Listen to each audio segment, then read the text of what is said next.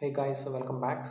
In this video, I will talk about uh, the fixed point uh, uh, multiplication. So in that, uh, I will mainly talk about the saturation block. I will take a suitable example uh, to showcase uh, that there is a saturation for a particular Q format and when there is a saturation, um, you know, whether it is good to do saturation or not. If, if there is a saturation, then what is the problem? Okay so we will see all these things so in the previous videos i was talking about uh, uh, the multiplication uh, considering q 1.0.15 format. Uh, so today uh, we will take a different format and we will try to see you know how that uh, works.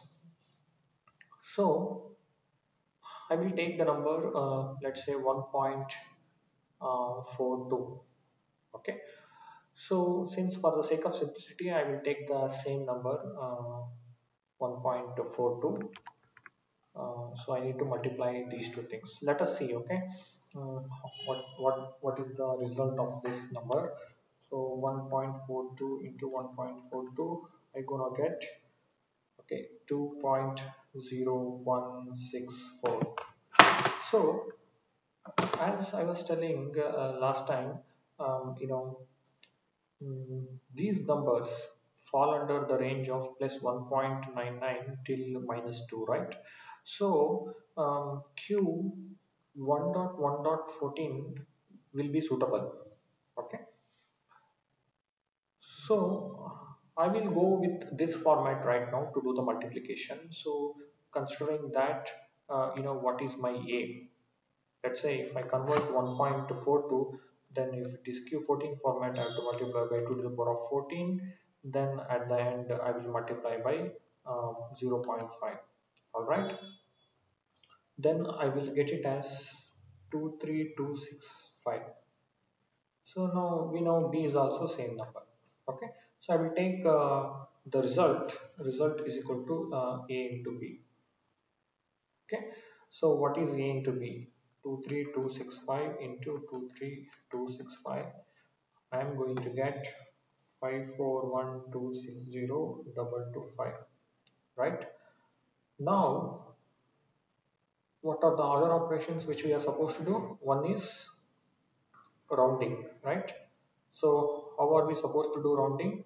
Since this is a q14 format uh, result should be um, added with 2 to the power of 13 right okay 0.5 how do you represent um, 2 to the power of 13 divided by 2 to the power of 14 if you are in q14 format. So then what is the answer? So plus 2 to the power of 13 so my answer is 541268417 right? Now I need to check the saturation for this right? So I will I will write here okay? So so that everything will be in one particular slide itself. 54126 so then next what is the um, result is equal to result you know right shift by 14 bits. Because we are in q4 for format 14 so these when these two are multiplied it will be the fractional uh, we will have 28 uh, bits. So we will drop the last 14 so that we will finally get the answer in q1.1.14 so what is the result? So right shift by 14 means I have to basically divide by 14 right? This will be double three zero three six. This is the result. So finally since I'm going to so you take in 16 underscore t okay? Here I have not written all the uh, you know uh, all the um, um, uh, data types but um, in the previous videos I have already mentioned so I am directly taking those values. So z is equal to uh, in 16 underscore t of result right? So how to convert uh, this into float? Let's say float of I, I will have float um, zf is equal to um, 30 sorry double three zero three six divided by 2 to the power of 14 so if I do that I am um, supposed to get 2.1 0.016357 right? Okay. But after performing this operation what is that we need to do? To fit into 16 bits. Actually uh, we need to perform the saturation right? So what is uh, how are we going to do uh, saturation? This is this, this this is not fitting into 16 bits. So saturation logic we have already seen um, so if the number is uh, greater than if uh, uh, you know result is uh, greater than um, 3 to so um, 32767 then we need to retain this number. Okay?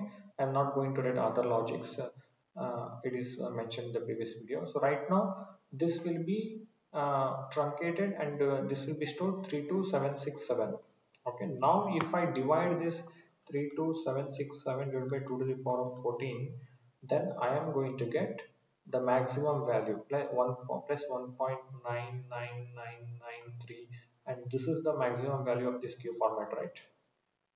Okay.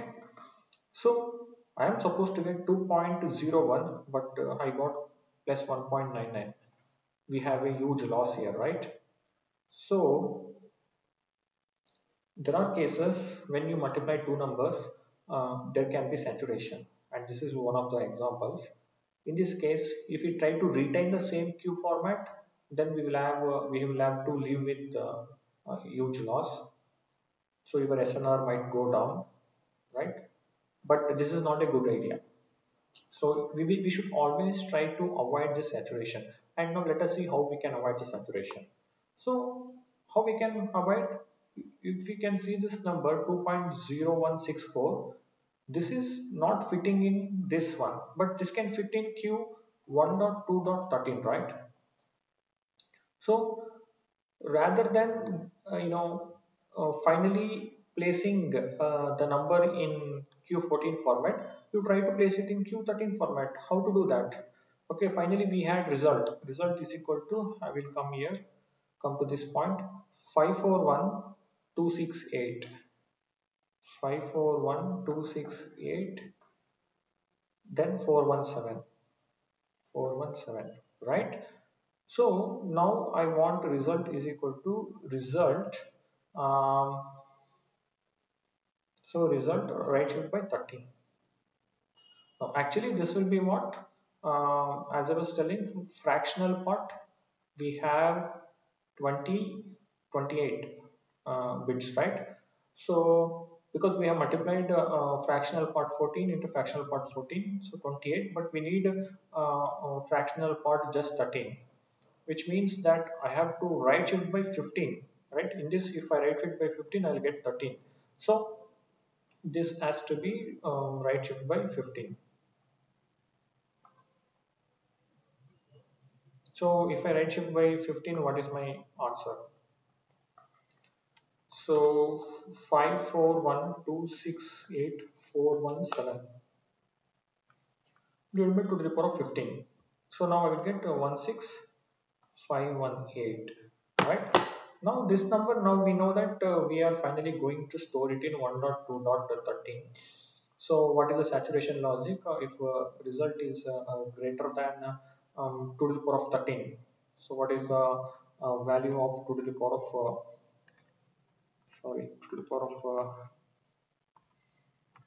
to the power of 13 okay so uh, if it is greater than more than 16 bits okay 3 2 7 6 7 then you have to um, truncate and keep it uh, 3 2 7 7 6 7 right?